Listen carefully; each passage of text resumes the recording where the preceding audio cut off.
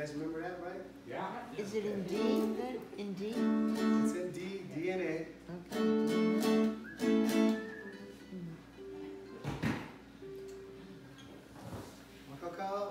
Hi. Aye. Kai, Yua, Koru, Ha.